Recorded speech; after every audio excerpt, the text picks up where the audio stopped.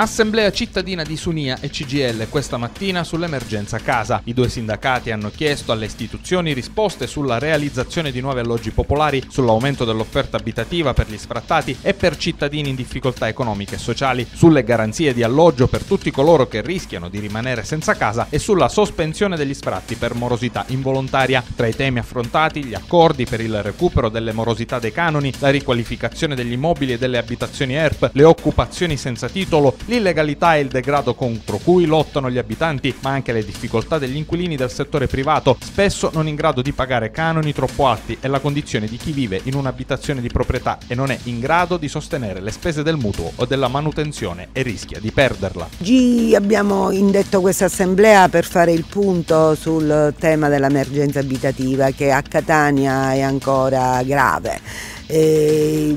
vorremmo in realtà analizzare anche con i nostri ospiti, saranno l'assessore alla casa e il, il direttore degli ACP, eh, cosa si prevede eh, per, in, in tempi brevi per una soluzione anche parziale del problema. Eh, ci interessa sapere i tempi della realizzazione degli alloggi del Palazzo di Cemento, i tempi della realizzazione dei 144 alloggi delle due torri e, e, e poi anche capire come funziona proprio l'accoglienza la, sull'emergenza. Chi è sfrattato dorme per strada, allora noi pensiamo che ci vuole un sistema anche di alloggi temporanei che, faccia, che possa fare evitare, eh, che possa evitare che le persone stiano in macchina, famiglie intere a Catania dormono in macchina. E nel frattempo altro problema è l'incuria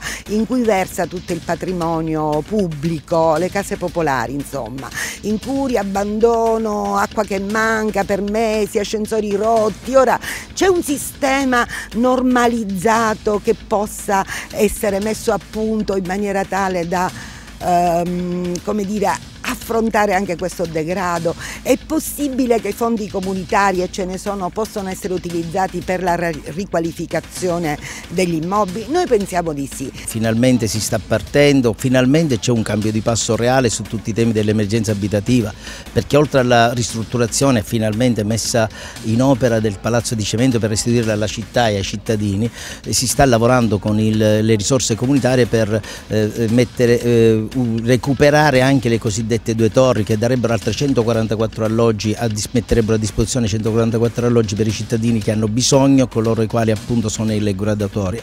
Poi stiamo lavorando anche per l'emergenza immediata, cioè coloro i quali purtroppo non sono stati sfrattati e sono assolutamente fuori senza un alloggio. Con gli ACP abbiamo stabilito di mettere in campo alcuni ricoveri di emergenza, 14 più alcuni nostri, proprio per fare in modo che da qui a pochissimo tempo si possano assegnare a chi è in una condizione di disagio estremo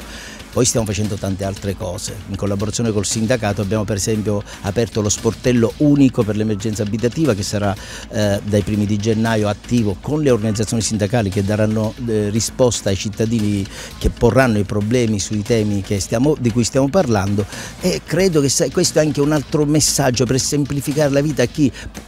non solo ha bisogno, poi deve girare 100 luoghi, magari avendo risposte diverse, senza mai avere certezza del loro diritto. Qui noi stiamo lavorando in questa direzione. La cosa è difficile, sì, perché l'emergenza abitativa è una delle emergenze principali, però ci stiamo mettendo l'anima e la voglia, la passione per farlo, insieme a, agli altri, ai cittadini che hanno bisogno, alla città e alle organizzazioni sindacali ci riusciremo.